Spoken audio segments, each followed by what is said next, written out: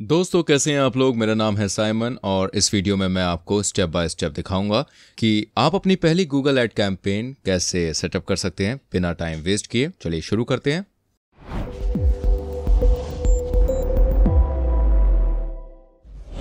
पहला स्टेप है ads dot Google dot com पर जाना है आपको। ये आपको यहाँ पर स्टार्ट नाउ बटन पर क्लिक करना है। आप यहाँ पर अपने ऑलरेडी एग्जिस्टिंग गूगल अकाउंट को यूज़ करके या एक नए अकाउंट को क्रिएट करके अपना गूगल एड्स अकाउंट बनाएँगे। अकाउंट में लॉगिन करने के बाद हम यहाँ पर आएँगे और स्विच एक्सपर्ट मोड पर क्लिक करेंगे ताकि हमें अपनी कैंपेन के लिए सारे ऑप्शन मिले। जी हाँ आपने बिल्कुल सही सुना दोस्तों। एंड साथ ही मैं आपको बता दूँ, यहाँ पर हम create a campaign without a goals guidance पर क्लिक करेंगे, क्योंकि हम अपने कैंपेन को पूरी तरह से कंट्रोल करना चाहते हैं। यहाँ पर हम अपने कैंपेन का टाइप सिलेक्ट करेंगे। इस वीडियो में हम एक सिंपल सर्च कैंपेन बनाएँगे। इसमें टेक्स्ट एड्स होंगे, जब लोग गूगल पर कुछ स्पेसिफिक कीवर्ड टाइप करेंगे। हम यहाँ वापस जाएँगे और सर्च पर क्लिक करेंगे। अब हमें डिफाइन करना है कि हम अपनी कैंपेन से कैसा रिज़ल्ट चाहते हैं। मेरे एग्ज़ाम्पल के लिए मैं लोगों को एक ऑफ़र के साथ एक स्पेसिफिक लैंडिंग पेज पर भेजना चाहता हूँ। तो मैं यहाँ पर वेबसाइट विज़िट पर क्लिक करूँगा और अपना यूआरएल पेस्ट करूँगा। फिर मैं कंटिन्यू पर क्लिक करूँगा। इन कैंपेन सेटिंग में हमें सबसे पहले अपने कैंपेन को एक नाम देना है। मैं इसका नाम दे रहा हूँ। सर्च कैंपेन वर्जन वन इसके बाद हम सर्च नेटवर्क और डिस्प्ले नेटवर्क को अनटिक कर देंगे, क्योंकि शुरुआत में हम चाहते हैं कि हमारी ऐड केवल गूगल सर्च इंजन पर दिखे। किसी और नेटवर्क पर नहीं। अब हम इसे स्क्रॉल करते हैं और शो मोर सेटिंग पर जाते हैं। यहाँ पर हम अपने कैंपेन के लिए स्टार्ट और एंड डेट लगा सकते हैं। तो अगर आप अपने कैंपेन स्पेसिफिक टाइम के लिए रन करना चाहते हैं तो आप उसे यहाँ पर सेट कर सकते हैं। हमारे पास एड स्केड्यूल भी है तो अगर आप अपने एड को किसी स्पेसिफिक डे या स्पेसिफिक टाइम रन करना चाहते हैं तो आप उस टाइम को भी यहाँ पर सेट कर सकते हैं। अब हम लोग टारगेटिंग और ऑडियंस सेगमेंट पर जाते हैं। लोकेशंस के अंदर आप डिफाइन करेंगे कि आपकी एड किस लोकेशन पर दिखेगी। यहाँ पर बाय डिफ़ॉल्ट यूनाइटेड किंगडम है। अगर मैं यूनाइटेड स्टेट्स के लोगों को कुछ बेचना चाहता हूँ तो मैं यहाँ जाऊँगा एंटर अनदर लोकेशन पर क्लिक करूँगा और फिर यहाँ पर यूनाइटेड स्टेट्स टाइप करूँगा। मैं यूनाइटेड स्टेट्स पर क्लिक करूँगा और अब मेरी ऐड केवल यूनाइटेड स्टेट्स में दिखाई देगी। इसके बाद हम यहाँ लोकेशन ऑप्शन पर आएँगे। टारगेट के अंडर हम इसे प्रेजेंस और इंटरेस्ट में प्रेजेंस में चेंज करेंगे, वरना आपकी ऐड उन लोगों को भी दिखेगी, जिनको उस लोकेशन में इंटरेस्ट होगा। इसका कोई सेंस नहीं बनता। जी हाँ आपने बिल्कुल सही सुना दोस्तों। आई होप आपको सब समझ में आ रहा होगा। एंड अब लैंग्वेजेस पर चलते हैं। यहाँ पर आप अपने कस्टमर्स की लैंग्वेज यूज़ कर सकते हैं, जो कि हमारी एड की भी लैंग्वेज होगी। हम ऑडियंस सेगमेंट को स्किप करके सीधा बजट और बिडिंग पर जाएँगे। बजट के अंदर सबसे पहले हम यूज़ करेंगे कि हम अपनी एड के लिए गूगल को किस करेंसी में पे करना चाहते हैं। एंड एग्ज़ाम्पल के लिए अगर आप यूनाइटेड स्टेट में रहते हैं तो आप यूएस डॉलर यूज़ करेंगे। यहाँ पर हम अपना एवरेज डेली बजट सेट कर सकते हैं।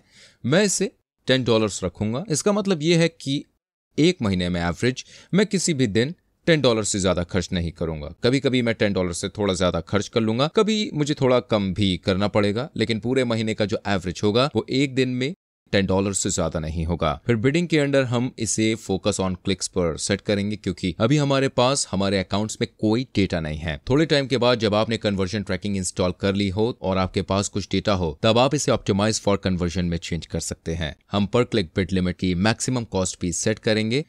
ये मैक्सिमम वो अमाउंट होगा जो हमें एक क्लिक के लिए पे करना होगा। इसका मतलब ये नहीं है कि आपको इतना पे करना होगा, लेकिन आपको कभी इससे ज़्यादा पे नहीं करना होगा। मैं इसे टू डॉलर सेट कर देता हूँ। आई होप आपको सब समझ में आ रहा होगा। इसके बाद हम एड एक्सटेंशन पर जाएँगे। एड एक्सटेंशन आपके एड पर कुछ एडिशनल लिंक और टेक्स्ट होते हैं, जिससे आपकी एड थोड़ी बड़ी और गूगल पर रियलिस्टिक हो जाती है। आमतौर पर इससे आपको ज़्यादा क्लिक थ्रू रेट मिलता है। इसमें, इससे गूगल एड में काफ़ी मदद मिलती है। तो मैं रेकमेंड करूँगा कि आप इन एड एक्सटेंशन को सेटअप कर लें। इसलिए मैं इन साइड लिंक एक्सटेंशन को ज़रूर सेटअप करूँगा। ये लिंक्स हैं जो आपकी वेबसाइट के अलग अलग पेजेस तक ले जाएँगे। यहाँ पर कॉल आउट एक्सटेंशन भी सेटअप कर सकते हैं, जिसमें कुछ एडिशनल बेनिफिट्स लिस्ट करने होंगे। जी हाँ सही सुना आपने यहाँ पर। फिर स्ट्रक्चर्ड स्निपेट, कुछ स्पेसिफिक बिज़नेस के लिए फ़ोन नंबर भी ऐड किया जा सकता है। तो आप कॉल एक्सटेंशन ऐड कर सकते हैं, या फिर आप यहाँ दिए गए एक्सटेंशन को भी देख सकते हैं, जो अलग अलग बिज़नेस के लिए फ़ायदेमंद हो सकते हैं। अगर आप अभी के लिए ये सब नहीं करना चाहते हैं तो परेशान ना हो, आप इन सबको बाद में एड क्रिएट करने के बाद सेट कर सकते हैं। अब सेव एंड कंटिन्यू पर क्लिक करते हैं। यहाँ पर हम अपने एड ग्रुप सेटअप करेंगे और इस तरह से करेंगे कि हर स्पेसिफिक एड ग्रुप के लिए हम अपने कस्टमर के एक स्पेसिफिक इंटेंशन को टारगेट करेंगे। ताकि बाद में जब हम ऐड बनाएँ तो वो हमारे कीवर्ड के साथ बहुत रेलिवेंट होगी। एग्ज़ाम्पल के लिए मेरा वेबसाइट डेवलपमेंट बिज़नेस है तो पहले ऐड ग्रुप के लिए मैं ऐसे लोगों को टारगेट कर सकता हूँ जो कि रिस्पॉन्सिव बेनिफिट देख रहे हों। दूसरे एड ग्रुप के लिए मैं ऐसे लोगों को टारगेट कर सकता हूँ जो एक बुकिंग वेबसाइट देख रहे हों। इस तरह से हर एड ग्रुप के लिए हम ऐसे कीवर्ड यूज़ करेंगे जो स्पेसिफिक सर्च इंटेंट के साथ रिलेटेड हो। जी हाँ आपने बिल्कुल सही सुना दोस्तों। एंड दोस्तों, चलिए, अपने पहले एड ग्रुप के लिए हम ऐसे लोगों को टारगेट करते हैं जो एक रिस्पॉन्सिव बेनिफिट ढूंढ रहे हैं। तो मैं नाम को एड ग्रुप वन से वेबसाइट प्लस रिस्पॉन्सिव में चेंज कर देता हूँ। इससे मुझे पता रहेगा कि ये ग्रुप किस लिए है कीवर्ड्स के अंडर हम उन सभी सर्च टर्म को डिफाइन करेंगे जिनके लिए हमारा एड दिखना चाहिए। आई होप आपको सब समझ में आ रहा होगा। कीवर्ड ढूँढने के लिए हम यहाँ सीड कीवर्ड के तौर पर मेन कीवर्ड को डाल सकते हैं। मैं यहाँ पर टाइप करूँगा रिस्पॉन्सिव वेबसाइट डेवलपमेंट इसके बाद मैं गेट कीवर्ड पर क्लिक करूँगा। फिर गूगल मुझे ये सारे कीवर्ड देगा जो उसे लगता है कि इससे रिलेटेड हो। सेकेंड स्टेप में मैं सभी कीवर्ड को देखूँगा और अगर मुझे लगता है कि इनमें से कुछ कीवर्ड का सर्च इंटेंट अलग है तो मैं उन्हें डिलीट कर दूँगा। जी हाँ आपने बिल्कुल सही सुना दोस्तों एंड एग्ज़ाम्पल के लिए यूडीमी रिस्पॉन्सिव वेब डिज़ाइन ऐसे सर्च कीवर्ड नहीं है जो मेरे लिए कस्टमर बनाएगा, क्योंकि यूडीमी एक कोर्स प्लेटफॉर्म है और जो लोग इसे टाइप करेंगे, वो कोई कोर्स ढूंढ रहे होंगे कि एक रिस्पॉन्सिव वेबसाइट कैसे बनानी है। वो फ्रीलांसर्स को नहीं ढूंढ रहे होंगे। अब मैंने अपने हिसाब से कीवर्ड्स निकाल लिए हैं जो मुझे ठीक लगते हैं, जिनको यूज़ करके लोग कोई ऐसा इंसान ढूंढ लेंगे जो एक रिस्पॉन्सिव वेबसाइट बना सके और मैं इस एड से यही ऑफ़र कर रहा हूँ। अब मैं अपने सारे कीवर्ड्स को कॉपी कर लूँगा और फिर कीवर्ड मैच टाइप टूल नाम की एक साइट पर जाऊँगा। हम इन्हें यहाँ पेस्ट करेंगे, हम राइट साइड पर जाएँगे और फ्रेज मैच और एग्जैक्ट मैच ऑप्शन लेंगे। जी हाँ आपने बिल्कुल सही सुना दोस्तों। एंड दोस्तों इसके बाद क्रिएट कीवर्ड लिस्ट पर क्लिक करेंगे। यहाँ पर हम उन सभी को कॉपी करेंगे और फिर अपने गूगल एड अकाउंट पर वापस जाएँगे और उन्हें पेस्ट करेंगे। अभी मैंने अपने कीवर्ड्स के आसपास ब्रैकेट और कोटेशन मार्क लगा दिए हैं जो अलग अलग मैच टाइप को रिप्रेजेंट करते हैं। आई होप आपको सब समझ में आ रहा होगा। तो जब भी आप अपने कीवर्ड पर ब्रैकेट लगाएँ, इसका मतलब यही है कि आपका एड तभी दिखेगा जब लोग वही एग्जैक्ट कीवर्ड टाइप करेंगे या कोई ऐसी चीज़ जिसका मतलब सेम है। अगर आप अपने कीवर्ड में कोटेशन मार्क्स लगाएँगे, इसका मतलब यह है कि आपका एड तब भी दिखेगा जब लोग किसी तरह के फ्रेज के साथ उस कीवर्ड को टाइप करेंगे। एग्ज़ाम्पल के लिए अगर कोई टाइप करता है I am looking for a responsive website development company तो आपका ऐड दिख जाएगा। आप ब्रॉड मैच भी यूज़ कर सकते हैं। इसमें आप अपने कीवर्ड के आसपास कुछ नहीं ऐड करेंगे, लेकिन मैं इसे रेकमेंड नहीं करता हूँ, वरना आपका एड हर रिलेटेड चीज़ के लिए दिखने लगेगा। इसलिए मैं यहाँ पर उसे डिलीट कर दूँगा। आई होप आपको सब समझ में आ रहा होगा। अब हमने अपना पहला ऐड ग्रुप कर लिया है। अगर आप चाहें तो आप और भी ऐड ग्रुप बना सकते हैं। आप यहाँ पर ऐड न्यू ऐड ग्रुप पर जाएँगे और फिर दूसरे के लिए आपका इंटेंशन कुछ अलग हो सकता है। हम ऐसे लोगों को टारगेट कर सकते हैं जो एक रेस्टोरेंट के लिए वेबसाइट ढूंढ रहे हों तो हम इस ग्रुप के नाम में डालेंगे वेबसाइट प्लस रेस्टोरेंट और फिर वही पूरा प्रोसेस करेंगे जो हमने पहले किया था। एंड दोस्तों टाइम की वजह से मैं इस एड ग्रुप को छोड़ दे रहा हूँ। और हम सेव एंड कंटिन्यू पर क्लिक करके अगले स्टेप पर चलते हैं।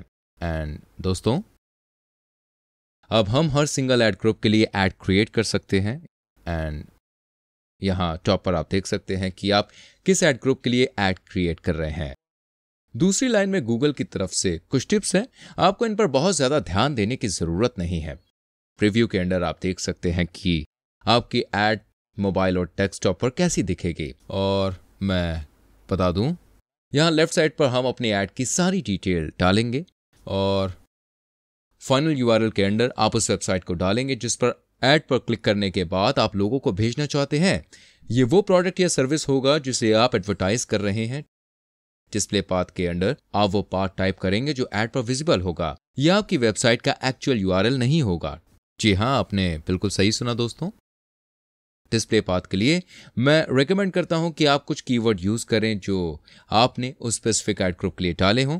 तो मैंने वेब डेवलपर रिस्पॉन्सिव डाले हैं। अब हम हेडलाइंस पर जाते हैं। हेडलाइन में आपको अपने प्रोडक्ट और सर्विस के लिए बहुत स्पेसिफिक होना पड़ता है। एंड साथ ही मैं आपको बता दूँ, यहाँ पर मैंने चार से पाँच हेडलाइन डाली है जो ये डिस्क्राइब करती है कि मैं क्या ऑफ़र कर रहा हूँ। मैंने कुछ ऑब्जेक्शन या पेन पॉइंट भी डाले हैं जो इस सर्विस को ढूँढने वाले लोगों के हो सकते हैं।